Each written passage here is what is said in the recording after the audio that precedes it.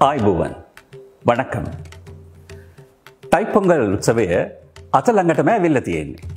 තයිපොංගල් කියන්නේ මොකක්ද අද මම ඔබට ඒ ගැන කියන්න. තයිපොංගල් උත්සවය පැවැත්වෙන්නේ ජනවරි මාස දාහතර වෙනිදා. දමිල ජනතා මේ මාසයට කියන්නේ තයි මාස කියලා. ඒ හින්ද තමයි මේ උත්සවයට තයිපොංගල් උත්සවය කියලා කියන්නේ. බෝග මාස විදියට මේ මාසය හඳුන්වන්න පුළුවන්. ලෝකයේ පැවැත්වෙන්නේ හිරු එලිය නිසා.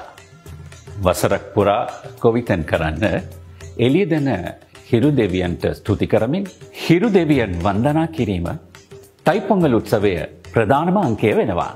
ඇත්තටම තයිපොංගල් කියන්නේ ශ්‍රී ලාංකිය අපේ සිත් එකට යා කරන උත්සවයක්.